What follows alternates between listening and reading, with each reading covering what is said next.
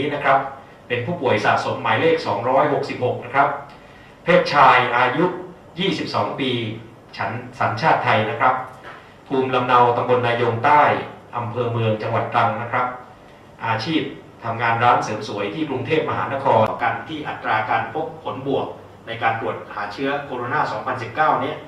ต่ำกว่า 5%วันนี้คือ 4.57%นะครับ เพราะฉะนั้นสัญญาณนี้เป็นสัญญาณที่ดีว่าเราสามารถตรวจเชื้อได้มากพอ และสามารถควบคุมการระบาดไว้ได้นี้นะครับสำหรับข่าววันนี้นะครับ ที่เป็นประเด็นที่น่าสำคัญคือองค์การอนามัยโลก หรือที่เรียกว่า WHO นะครับได้ประกาศยกระดับเชื้อไวรัสโคโรนา 2019 ที่สายพันธุ์สายพันธุ์อินเดียนะครับ เป็นสายพันธุ์อันตรายที่อำเภอกันตังนะครับ วันนี้ตรวจกลุ่มนี้ไป 8 รายนะครับได้มีการตรวจก่อนผ่าตัดนะครับ อย่างที่ได้นำเรียนพี่น้องประชาชนไปว่าผู้ป่วยที่จะเข้าห้องผ่าตัด รับไว้ในโรงพยาบาลหลังผ่าตัดนี่เราจำเป็นจะต้องตรวจหาเชื้อโควิด -19 ทุกรายเพื่อเป็นการเฝ้าระวังไม่ให้มีการ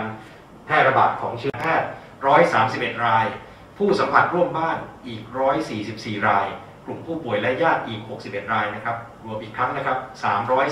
336 ราย มันตรวจไปจำนวนมากนะครับ เพื่อยืนยันให้พี่น้องประชาชนได้มั่นใจว่าระยะเวลาฟักตัวของเชื้อที่เสี่ยง ตามมาด้วยเจ้าหน้าที่ที่มีโอกาสสัมผัส สัมผัสเสี่ยงสูง เช่นทหารตำรวจผู้ที่ต้องเข้าไปปฏิบัติงานกับคนจำนวนมาก ตามมาด้วยผู้ที่มีโรคประจำตัว แล้วก็ผู้ที่อายุไม่มีอาการหมายความว่าภาพเอ็กซเรย์ปอดของทุกคนเนี่ยไม่มีเรื่องของภาวะปอดบวมหรือปอดอักเสบนะคะในวันนี้คนไข้ที่ อยู่โรงพยาบาลตรังมีผู้ที่ต้องรับประทานยาต้านไวรัสจำนวนประชากรที่ควรจะต้องได้รับวัคซีนทั้งหมด 198,300ละ9คนนะคะ70%เป็นผู้สูงอายุก็คืออายุเกิน 60 ปี ที่เหลือก็จะเป็นผู้ที่มีโรคประจำตัว7ชนิด ที่อายุต่ำกว่า 60 ปีนะคะ เป้าหมายที่เราจะวางไว้ก็คือว่าเราจะฉีดวัคซีนให้ได้ประมาณ 7,000 คนต่อวันทั้งจังหวัดนะคะ โดยใน 7,000 คนเนี่ยต่อวันนะคะ 2,000 คนจะเป็น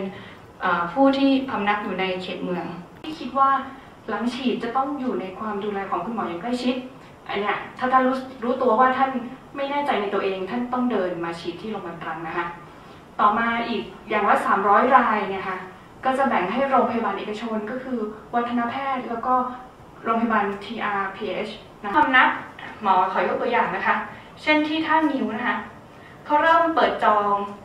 โดยท่านเนี่ยไปติดต่อที่รพสทท่านิ้ววันวันจันทร์หน้า 17 พฤษภาคม ช่วง8โมงครึ่งถึงถึง4โมงเย็น ท่านนำบัตรประชาชนไป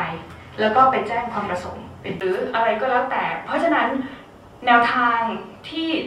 ที่ทางจังหวัดกับโรงพยาบาลเนี่ยอาจจะได้พิจารณาเพื่อจะทำให้เรามียอดจองหรือลงทะเบียนมากขึ้นก็คือ เราก็จะนำผู้ที่มีโรคประจำตัวทั้ง 7 อย่างและ ผู้ที่อายุเกิน 60 ปีเนี่ยนะคะทางเจ้าหน้าที่เราจะจองให้ท่านอัตโนมัติเลย